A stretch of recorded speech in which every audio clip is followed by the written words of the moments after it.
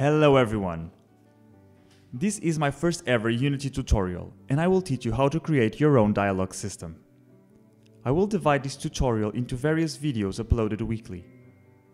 I'll teach you how to import your dialog from a simple to read and write format into Unity and print it in a dialog box, how to implement options and dialog branches, and how to add special functions, such as voice acting, animation triggered by dialog, etc. Although dialog systems can be extremely different from one another in terms of specifications, I hope I can cover the basics to make you understand how it works and how to construct above it. In the footage below, you can see an example of the dialog system I created for my first indie game called Into a Dream. Before getting into Unity, let me tell you the choices I have made in terms of formats and plugins. The dialogues are going to be written in YAML, which is a very straightforward format convertible into JSON and XML for example. You can check its specifications in yaml.org if you're not familiar with it. As I couldn't find any YAML parser that worked correctly with the dialog writing construction I had in mind, I opted to convert the YAML formats into JSON, which can be done very simply and fast in the web or by getting a Python script that makes such a conversion. I'll guide you through the process in later videos. The JSON files are then parsed to Unity using the litjson plugin. You can download the latest version in litjson.net and copy the litjson folder into your project's assets folder. Finally, it is important to understand that YAML structure I am using for dialog writing and how JSON parses the corresponding JSON. Okay, so a linear dialog, that is, that has no branching, is simply written like this, hyphen, the speaker's name, followed by the spoken line. You can repeat this for how many lines you want and how many speakers you want. Inside Unity, litjson parses this dialog into a specific data type named JSON data. If we store our file into a JSON data variable called dialog, its first element, dialog0, will represent our first whole line, dialog 1 our second line, and so on.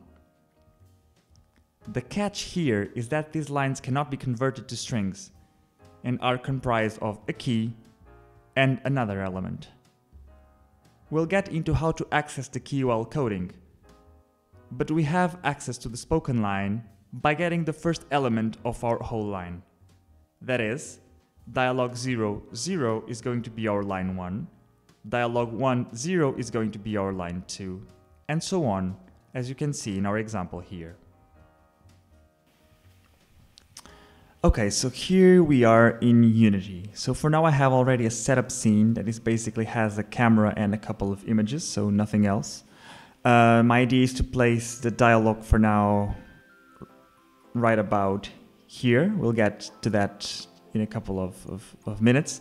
So first of all, just want to, to show you that I have already placed the litjson plugin inside my assets folder. And I have also created a dialogues folder that I have placed inside resources. Um, I generally um, organize my folders by scene. And inside each scene, I have a JSON and a YAML folders for the different formats, dialog formats. So um, as you know, we're going to write the dialogues first in YAML. I have already created here a dialog0.yaml as an example. And if we open it, we can see that it's basically equal to the to the construction that we used uh, earlier in our in our example to teach you how JSON and YAML work, uh, which basically only has you know the speaker and then the line to deliver, and then it goes linearly. So in order to convert this YAML into JSON, we're going for now use a website. So if you just Google uh, YAML to JSON converters, you'll find plenty of them. They are fast and they are pretty easy to use. So we're going to copy this here. We're going to this YAML to JSON converter, paste it on the left, convert it, and there you go. This is the JSON output from our YAML dialog. So now we just copy the output, go back to Unity, and here I have previously created a dialog0.json file. We can open this, paste uh, sorry, paste our output, save, and there you go. That's all you need to do in terms of dialog. So now going back to Unity, we are going to create our dialog text, so our dialog text box. We go here to create UI and text. When creating a text, it creates uh, a canvas immediately and places our text inside that canvas. So if we zoom out, we can see our canvas zero and our text box here at the bottom. So I'm going to move it to somewhere here where I believe it's going to be the black grass so that the dialog can be above the black grass. I'm just going to make the dialog box a little bit bigger, making the font a little bit larger and turning it white for it to be easy to be seen. And there you go. So this is our text box. So this is where we are going to print our dialog. So now that we have our simple UI, we can go here to scripts, dialog manager and create a new C sharp script. Let's call it dialog manager. Let's open it. And there we go. Let's start doing some scripting. So first of all, we don't need these system collections, but we are going to need unityengine.ui due to our texts and also we are going to need to use, of course, lit.json. The first thing that we need to do is to load the dialog. So let's create a function called load dialog that has an argument path so that we can load different dialogues depending on this argument here. And the way we do this with lit.json is that first of all, we need to import the JSON file as a simple text file. And we can do this with the following um, function, which is resources.load text asset. Uh, and now the path inside resources that I want to get. So basically this will go to, resource, uh, to, to resources slash dialog slash path and import whatever there is uh, whatever the file name is that I put in path to a text file. And now I can use a function, uh, a lit.json function called jsonmapper.toObject.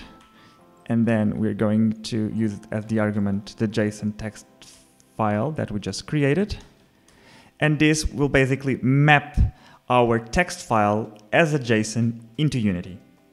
Of course, we need to store this into a variable. So we're going to create a specific um, data type from lit.json, which is JSON data. We'll call it dialog. And so dialog can be equal to our JSON mapping. Okay, so there you go. Now, for example purposes, I'm just going to load the, um, the JSON file, our, our example dialog in, in, in start, in the start function. So load dialog and then inside the dialogs folder there is scene 0 then JSON and then the name of the, the file which is dialog 0 so basically what I'm saying is that I'm going to use as a path scene 0 JSON and then the name of the file dialog 0 and that's it for now. So after loading, of course, we need to print files, uh, sorry, print a dialog. And for that, I'm going to create a print line function. And I need to specify where I want to print it. So I'm going to create a public variable of type text and call it text display. And here I will say that whatever is written inside the text display, which is text display doc text, is going to be equal to my first line. And as we've seen before, the first actual line of dialog is stored inside dialog 0, 0. And now I need to convert this to string and there you go. Uh, of course, we don't want to print just a single line every time. So we need to increment the line each time we want to call print line. So I'm going to create here a variable that will store in which line we are. I'm going to call it index, so a private int index. Anytime that I will load the dialog, of course, I want to start in the first line. So I'm going to, every time that I load, set index to zero. Every time that I print a line, I want to increment index and I want to print dialog index zero if you don't remember why it is dialog index 0, so why it's this, the first element that changes and not the second, please go back to the beginning of the video where I explain the way that LitJSON maps uh, a, YAML, a YAML file. Okay, so now we can simply call the printline function whenever we, for example, hit a certain key. So get key down.